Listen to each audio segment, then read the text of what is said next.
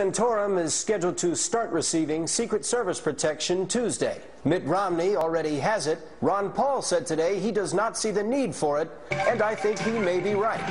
Look at him go. I think he may have it under control.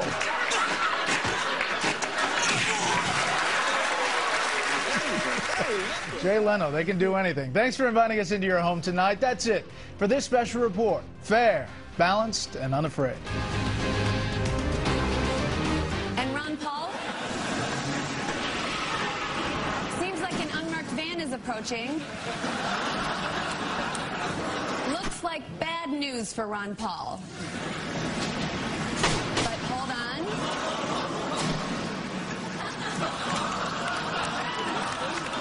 Ron Paul, not going anywhere. Ideologically pure and tough as nails.